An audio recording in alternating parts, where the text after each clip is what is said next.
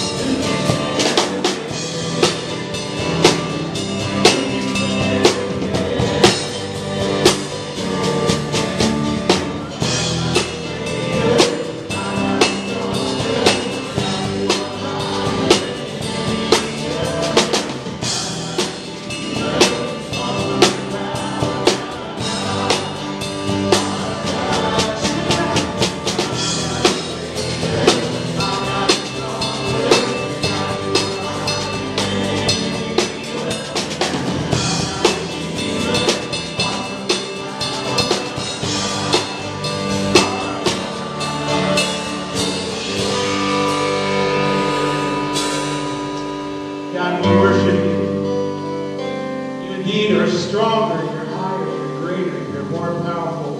You are the most sovereign, holy God. What an awesome privilege it is, Lord, to be here in your midst this morning. We give you all the glory with thankful hearts.